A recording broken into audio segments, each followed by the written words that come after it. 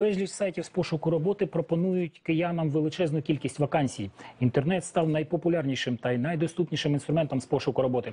Спілкування роботодавців з потенційними працівниками відбувається також насамперед в мережі. Потім дзвінок і лише потім особиста зустріч. Але не в цьому разі.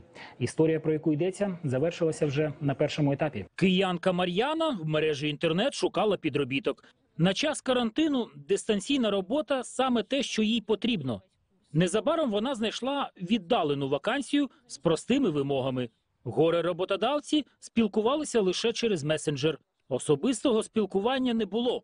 Їй повідомили, що офіс нібито в іншому місці, а відтак оплату за вироблену роботу вона буде отримувати на картку будь-якого банку. Для цього їй треба заповнити анкету за посиланням, і можна починати роботу. Е, Ввела свої дані, прізвище, ім'я по батькові, прописка, ідентифікаційний код, контактний номер телефону, е, паспортні дані. Ну, все, все як зазвичай, нічого підозрілого.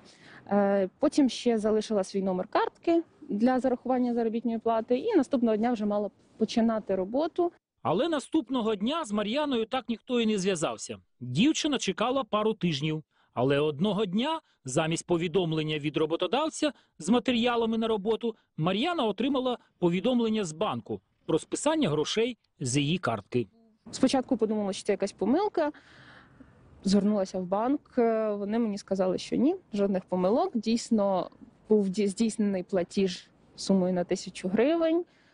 Е, Банк нічого сказали, вдіяти не можуть, оскільки платіж підтверджений і все, все якби нормально. І тут я зрозуміла, що я попалась. Дівчина каже, почала телефонувати на номер роботодавця і спробувала писати, але їх листування було видалено, і номер роботодавця не відповідав. Але спритники встигли подарувати дівчині ще один неприємний сюрприз. На цьому ще не закінчились мої пригоди, тому що через кілька днів я дізналася, що на мене ще й онлайн-кредит оформили. Ось так. Тому я зрозуміла, що це була моя, моя провина. Я залишила зайву інформацію. І мій номер телефону це був той самий номер, що до картки прив'язаний. Каріне Макіян працює у відділі маркетингу великого і авторитетного порталу з пошуку роботи. Вона каже, за минулий рік вони заблокували 3,5 тисячі вакансій, роботодавці яких не змогли підтвердити свою добропорядність. Каріне каже, насправді при огляді повідомлення здобувача має насторожити, якщо йому пропонують великі гроші, не вимагають певного досвіду чи освіти.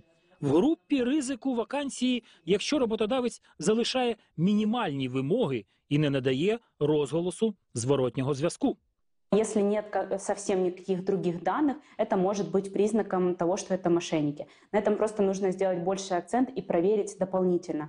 Э, Проверить, э, что есть в описании компании, опять же, у нас на сайте или на других ресурсах, э, что есть в фото и видео, потому что мы заинтересованы в том, чтобы компании показывали, как работать будет соискатель, что он может, на что он может претендовать. Фахівці ж кажуть, що легко можна перевірити роботодавця будь-якої форми власності.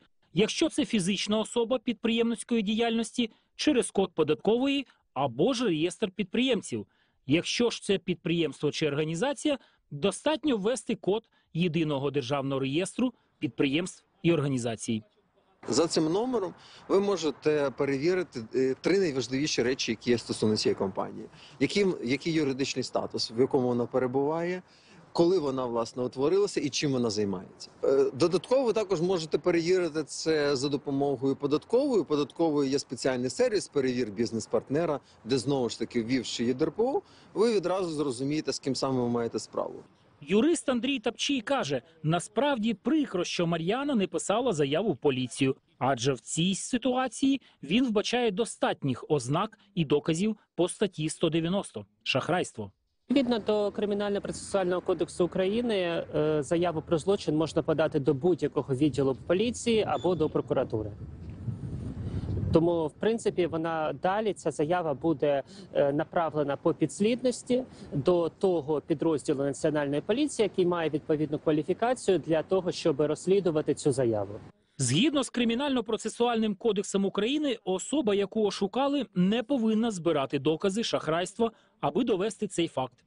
Цим має займатися слідчі органи поліції. А наша програма радить нашим глядачам ретельніше перевіряти майбутніх роботодавців і не повідомляти нікому конфіденційну інформацію стосовно вашої банківської картки. Ця обставина до слова завжди прописана умовами банку емітентом вашої картки. Андрій Нєшин, Денис Кладов для рубрики Київ на твоєму боці.